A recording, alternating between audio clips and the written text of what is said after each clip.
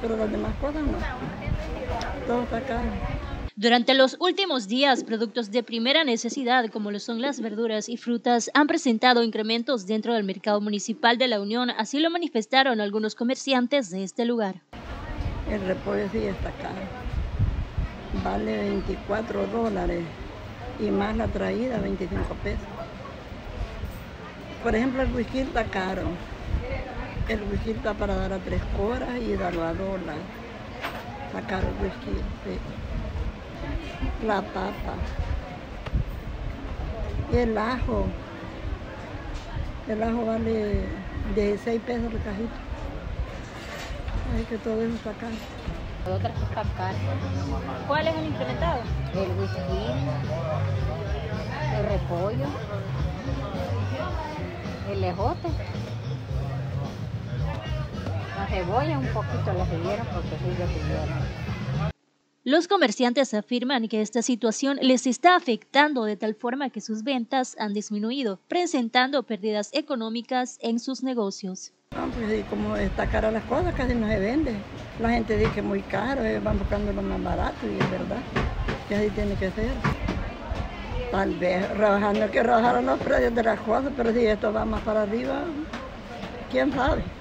Algunos comerciantes deben optar comercializar menor producto, ya que ante las bajas ventas sus productos se echan a perder. Eh, no, porque el asunto es de que así como están los productos de caro, uno lo que hace es encargar poquito.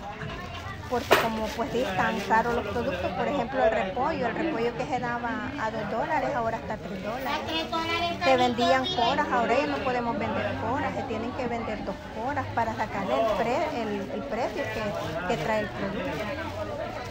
Entonces lo que estamos haciendo es pidiendo más poquito porque como pues la gente cuando ve los precios de caro mejor no lo llevan. ¿Y sabemos que sí nos afecta por el hecho de que si uno vende esos productos pues uno gana para, como dicen, para el sustento diario.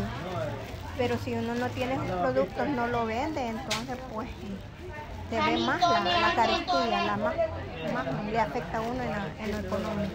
De igual forma, han dejado de comercializar ciertas verduras por altos precios. Algunos consumidores se quejan del incremento y afirman que la situación económica no mejora. El aguacate, sí, porque el aguacate está muy caro. El aguacate que se daba a 2 por el dólar, ahora solo se tiene que dar a 3 horas el aguacate que se daba a unos 50, ahora se tiene que dar a 2 dólares por el incremento del precio. Y de hecho, ahorita, en esta semana, casi no han traído por el hecho de que está muy caro. O sea, ni caro lo, están trayendo pues, porque hay escasez de productos. Ante la poca producción de alimentos en el país y los altos costos de exportación son factores que influyen en el incremento de estos alimentos. Según datos brindados por el Centro para la Defensoría del Consumidor, el 90% de todas las verduras y hortalizas son comprados en otros países. Bien altos los precios cada día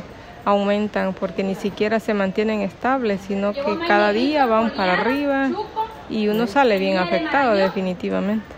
Sí, claro, que uno tiene que ver cómo se las arregla para ver de que le alcance, ¿verdad? Y, y pueda subsistir durante pues un mes y luego sucesivamente así va uno. Los comerciantes prevén que esta situación pueda mejorar, sin embargo, algunos agricultores han optado a no sembrar verduras y hortalizas debido al fenómeno del niño, la falta de lluvias en el país.